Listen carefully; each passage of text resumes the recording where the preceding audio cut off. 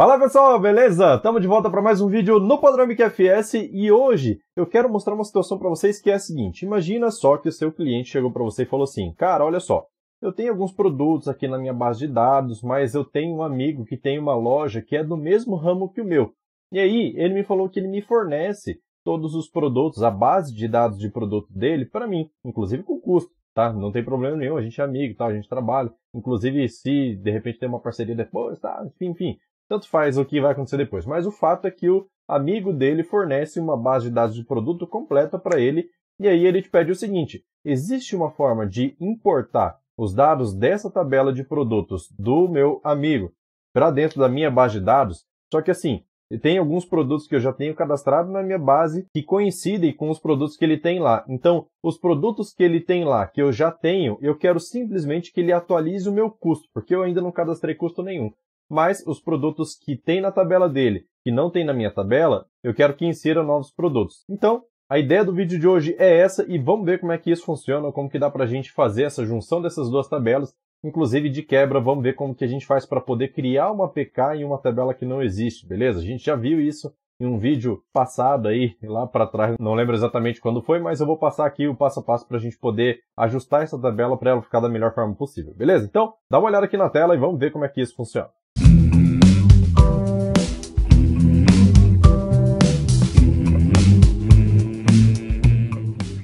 Olha só, eu tenho aqui a tabela de produtos do amigo desse cliente seu. Então, ele tem aqui todos os produtos cadastrados com seus respectivos custos e tem estoque também, mas estoque a gente vai deixar de fora, beleza? E aqui para baixo eu tenho produtos de teste, tá? Que eu já tinha feito aqui, uma inserção em massa, só para ter uma quantidade razoável de produtos, beleza? Mas eu quero considerar tudo aqui como se fossem produtos válidos.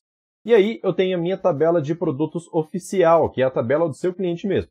Essa tabela de produtos, ela tem o código de barra, tem a descrição e tem o custo apenas, beleza? Perceba que ela não tem uma APK inserida aqui. Então, o que, que acontece? Antes de fazer a importação dos produtos do amigo do seu cliente para dentro dessa tabela oficial, eu quero criar uma APK para que ele já comece com o sequencial certo e os próximos produtos que forem entrar já entrem com o sequencial a partir desse número que tem, beleza? Então, olha só, Nessa tabela produto oficial, eu tenho 50 produtos cadastrados. Olha só, Ctrl End aqui, 50 produtos, certo? E eles estão aqui bagunçados, tá? Não tem uma ordem específica, mas eles foram cadastrados e tem aqui o código de barra de referência, beleza? Então, o que, que eu quero fazer só para ter uma ideia? Só para poder mostrar para você. Olha só, vou fazer um select aqui nas duas tabelas. Select from, deixa eu diminuir esse daqui, né? Produto P, left join, produto como o produto é a tabela que mais tem produtos, então eu vou deixar ela como tabela principal. Daí eu vou fazer um left join na produto oficial, beleza? Que é a tabela do seu cliente. E vou juntar, ó, ficou errado aqui, ó, PO, e vou juntar essas duas tabelas pelo código de barra, porque é a única referência que a gente tem. Então, on po.código barra igual p.código barra, beleza? Então, olha só, vou colocar aqui como p.descrição e aqui embaixo po.descrição. Então, eu vou trazer a descrição das duas tabelas Onde tiver relação, ele vai mostrar nas duas. Onde não tiver, ele vai mostrar nulo na segunda tabela, beleza? Então, F9 aqui, e a gente pode observar o seguinte, ó. Esse produto que já está cadastrado, esse também já, esse também já, esse daqui não, esse primeiro não, esse aqui também não, tá vendo? Então, tem alguns produtos aqui que a gente tem cadastrados, outros que não tem cadastrados. Para esses produtos aqui, a gente vai ter que atualizar o custo dele, porque olha só, não sei se você reparou, mas aqui na tabela oficial, nenhum campo custo está preenchido, está tudo nulo, beleza? Então, como está tudo nulo, a gente precisa atualizar esse custo aqui, beleza? É uma mãozona que esse cliente vai ganhar. Então, como que a gente vai fazer aqui? Olha só, deixa eu voltar aqui no SQL Editor e vou comentar esse select aqui para que a gente não utilize ele por enquanto. No final das contas, a gente roda ele de novo para ver se pegou todos os produtos, tranquilo? Então, a primeira coisa que eu vou fazer aqui é criar um generator para que essa tabela aqui seja atualizada com ele, beleza? Então, essa tabelinha em algum momento ela vai ter um alto incremento e esse alto incremento vai ser baseado em um generator. Então como que a gente precisa fazer aqui? Ó? Vou fazer via script mesmo. Create sequence gen produto oficial ID. Beleza? Então esse daqui vai ser o nome do meu generator. Vou dar um F9 aqui para a gente poder criar ele e comita a transação. Só isso, beleza? Já vou comentar isso daqui para a gente não utilizar por enquanto. A segunda coisa que a gente precisa fazer é criar o campo ID que vai receber esses valores, beleza? Esse campo ID ele vai ser uma PK no futuro, porém ainda não, porque se a gente colocar uma PK agora, ele vai exigir que esses dados estejam preenchidos. Então o que eu vou fazer? Eu vou colocar aqui ó, o campo ID, na verdade eu vou colocar ele aqui para cima, ó, dar um insert aqui em cima, eu vou chamar isso aqui de ID, certo? E não marco ele ainda como not null. E se eu marcar como not null, eu já vou ter que definir um valor para esses campos, mas eu vou definir isso via update, beleza? Usando o sequencial certo. Aqui embaixo não vai ter nada, deixa eu dar um shift delete aqui, daí ele remove esse campo vazio, né? E vou mandar aplicar esse raio aqui para ele fazer a criação. Por que, que ele cria vários scripts aqui? Porque eu criei esse campo aqui na primeira posição. Então ele faz a criação do campo aqui em cima e depois reposiciona todos os campos para suas posições corretas, beleza? De acordo com o que eu estou vendo aqui na tela. Então, dou o commit aqui e ele já atualizou. Deixa eu fechar essa tabela aqui e abrir de novo, tá? Produto oficial. E aí a gente pode observar que aqui nos dados ele já tem aqui, ó, todos os campos que já existiam, inclusive o campo ID. Só que ele apareceu lá no final. Então tem uma dica aqui do Bexpert já que eu vou passar, que é o quê? Botão direito, e aqui tem, ó, Reset Fields Order. Então ele vai resetar a ordem dos campos. Então, clico aqui e ele reseta aqui pra gente. E o ID passa a ficar na mesma ordem que ele foi criado aqui, certo? Então tá, o que a gente precisa fazer aqui antes de definir isso daqui como PK? É dar algum valor para esse ID. Como que a gente faz isso? A gente faz isso via update. Faz assim, ó, update produto oficial, PO, setPO.id igual. Daí eu preciso incrementar esse generator que a gente acabou de criar aqui, ó, em 1. Beleza? Então a gente vai jogar aqui um para cada registro que ele encontrar. Então eu vou fazer assim, ó, gen ID, que é a função que faz a queima do ID. Então eu coloco aqui qual é o nome do generator, vírgula, de quanto em quanto eu quero incrementar. Eu quero incrementar de 1 em 1, beleza? Então só isso daqui já vai resolver. Vou dar um F9, ó, e ele já faz a atualização nos 50 produtos que estão lá. Vou comitar e vou vir aqui na tabela produto oficial, mando atualizar os dados aqui, ó, e o campo ID já tem o valor sequencial corretamente definido, beleza? Aí, o que, que a gente precisa fazer aqui agora? A gente precisa definir esse campo ID aqui como not null. Agora a gente consegue porque todos os registros já têm valor preenchido, beleza? Se não tivesse, como que a gente ia falar assim, ó, esse campo aqui não aceita null, mas tem nulo lá dentro dele, então não ia dar certo. Ia ficar com falta de integridade. Daí eu venho aqui no Fields, dou um F2 aqui e marco isso daqui como not null, beleza? Dei um espacinho aqui, ele já marcou o quadradinho, aplico o raio e está tudo certo, beleza? Nosso campo aqui já está apto a se tornar um campo primary key, beleza? Se eu der um F2 aqui, ó, perceba que eu não consigo marcar esse cara aqui mais, beleza? Por quê? Porque a tabela já está populada, já é uma tabela que já foi criada. Então eu preciso fazer essa criação de outra forma. Então o que, que eu vou fazer aqui, ó? Vou vir aqui no Constraints, tá? No Constraints, a gente tem aqui a aba primeira aqui, que é a primeira aba. Dou Insert aqui, ó, no teclado mesmo, só apertar Insert. E ele vai criar aqui, ó, PK Produto Oficial. Em qual campo? Aí eu vou falar que é no campo ID. Jogo ele para a direita e pronto. Preciso colocar qual índice ele vai utilizar? Não preciso, porque na hora que eu mando criar uma PK, automaticamente ele já vai criar um índice para você. Isso não é o Expert, tá? Isso é o Firebird. Na hora que você cria uma PK, ele automaticamente já definiu um índice do tipo crescente para esse campo, inclusive definindo que ele é único, beleza? Que ele não deve se repetir. Então, aplica o raio aqui, ó, e ele deu erro, então não consegui fazer essa alteração por aqui. Ele me deu uma validação de um erro falando que a coluna possui uma validação de campo nulo, certo? Então na hora que ele tenta fazer um teste de insert, ele fala assim, ó, o campo não pode ser nulo. Então o que, que eu vou fazer aqui, ó? Vou experimentar fazer uma coisa agora ao vivo, né, entre aspas.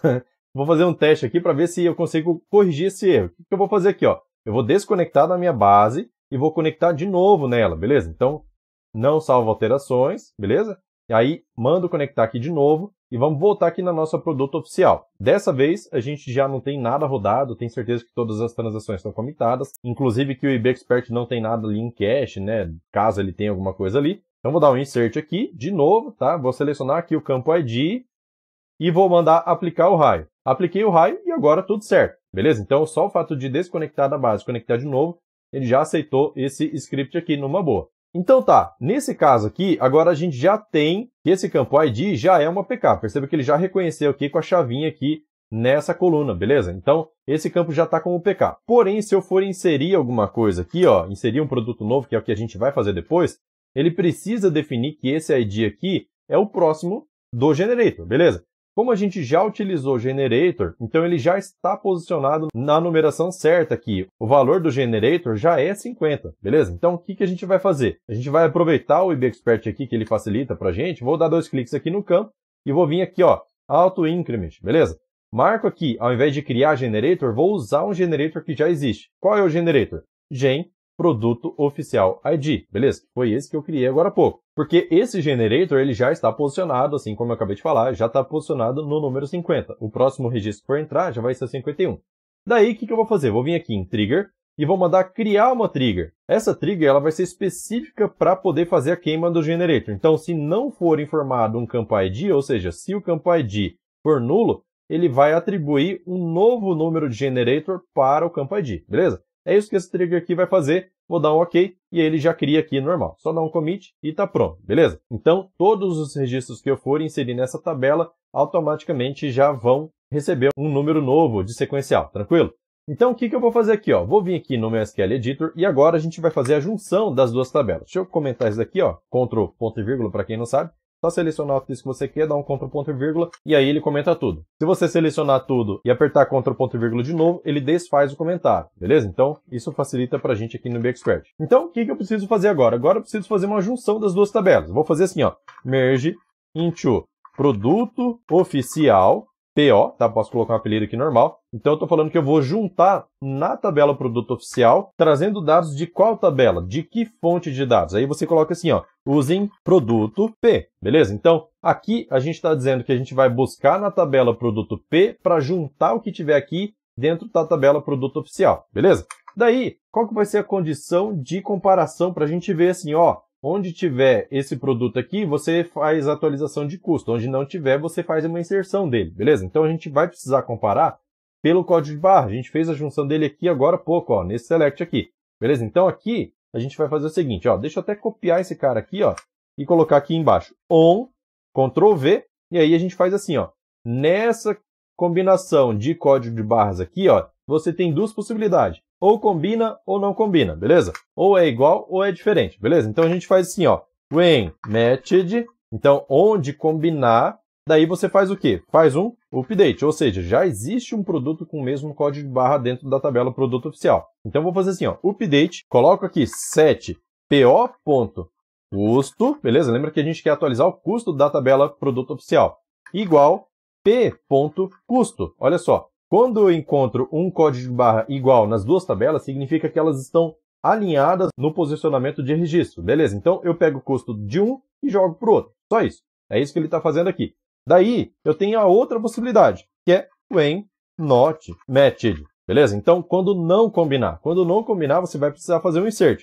Insert, não precisa colocar into tabela, porque ele já sabe que essa inserção vai ser na tabela produto oficial, afinal, ela é o destino de tudo. A mesma coisa aqui no update, ó, não preciso colocar update tabela tal, porque ele sabe que essa daqui é a tabela destino.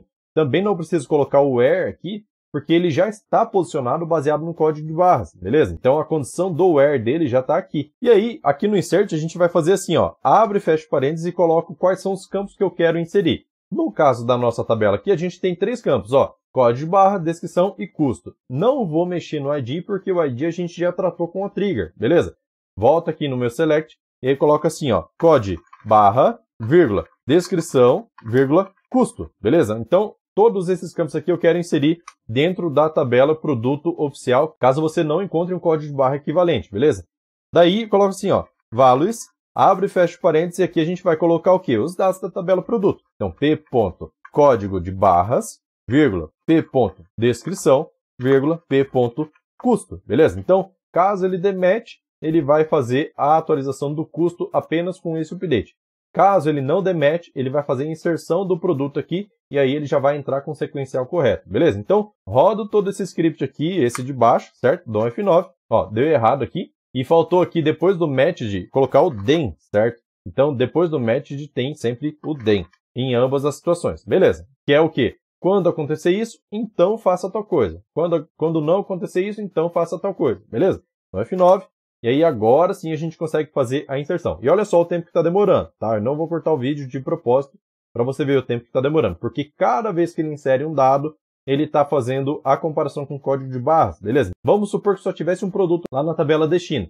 Quando eu inserir mais um, agora ele tem dois. Então, o próximo produto que ele for comparar, ele tem que comparar com dois. Depois com três, depois com quatro, depois com cinco. E aí a gente tem um total de quase 10 mil produtos aqui, se não dá... Não, dá 10 mil produtos certinho. Então, no final, ele chega a ficar um pouquinho lento. Então, compensa a gente fazer o seguinte, olha só, eu vou cancelar essa transação, E aqui na tabela produto oficial, eu vou observar o quê? Que este campo aqui precisa ter um índice para poder fazer a comparação rápida, beleza? Então eu vou vir aqui no índices, vou mandar inserir um índice novo aqui, ó. Vou deixar esse nome aqui mesmo, caso você queira mudar, você pode mudar. E adicionar o campo código barras, beleza? Aplico o raio aqui e dou o commit. Depois que eu apliquei o raio aqui, já tem o commit, daí eu vou ver aqui na tabela produto se também tem o código barra. Afinal, ele também vai pesquisar pelo código barra do produto. Então aqui, ó, vou vir aqui nos índices e eu vejo que código barra já está indexado, beleza? Para ter certeza, dá um botão direito aqui, ó, recompute all, beleza? Ele calcula todos os índices e a gente vai ter certeza que ele está na melhor possibilidade. Aqui não preciso recalcular, por quê? Porque eu acabei de criar o índice, então ele cria já calculando. Vou vir aqui no meu Select Editor e vamos rodar de novo esse mesmo merge. Olha só a diferença. Vou dar F9. 1, 2, 3 e já. Pronto. Viu a diferença? Muito mais rápido para poder fazer essa inserção de produtos. Então compensa você verificar se os campos que estão aqui, ó, nesse ON, estão indexados em ambas as tabelas, beleza? Se eles estiverem indexados, é muito provável que você vai ter uma velocidade muito maior para poder fazer essa junção. Vou aplicar aqui a transação, comitar ela, né? E vamos vir aqui na tabela produto oficial observar o que, que aconteceu. Vamos vir aqui nos dados. E olha só, os produtos todos têm custo, ó, com exceção daqueles outros produtos lá que não tinha realmente, né? Que são os produtos que eu coloquei para encher linguiça. e aí tem os outros produtos aqui, ó, que já pegaram um sequencial, beleza? Ele pegou um sequencial maior por quê? Porque eu rodei uma vez, cancelei a transação e rodei de novo depois da criação do índice. Então, o sequencial aqui ficou estragado, tá vendo? Mas quando você for rodar apenas uma vez, você vai pegar o sequencial certo, não tem problema nenhum. Tem como corrigir isso daqui? Tem, claro, só corrigir o generator na posição 50, fazer um update de novo, onde o ID for maior que 50. Daí você vai conseguir fazer esse sequencial aqui certinho, beleza? Só para ter certeza, ó, vamos vir aqui, vou comentar todas essas linhas aqui, e aí vou pegar aqui em cima esse select que eu tinha rodado primeiro, que estava cheio de falha, lembra? Vou dar um F9, e a gente pode observar o seguinte, ó, não tem nenhuma descrição nula na tabela da direita. Isso quer dizer o quê? Que todos os produtos foram atualizados dentro da produto oficial. Beleza? Então, o vídeo de hoje é isso, espero que você tenha gostado do conteúdo. Se você gostou, não esquece de deixar o like, é muito importante para o canal. É importante de verdade para o canal, porque isso dá relevância para o nosso canal. Falar que o pessoal, ó, o pessoal está gostando do conteúdo. Então, YouTube, divulga mais. Facebook, divulga mais. Beleza? E se você quer ver mais conteúdos como esse e ter a certeza de que você vai receber notificações em todos os próximos vídeos, basta você clicar no link aqui da descrição para você entrar no canal do Telegram. O canal do Telegram, eu tenho uma porrada de assunto lá que você pode escolher clicar no link para poder assistir ou no YouTube ou no Facebook e recebe notificação sempre que tiver vídeo novo, beleza? Então, vamos ficando por aqui. Valeu, falou, tchau, tchau.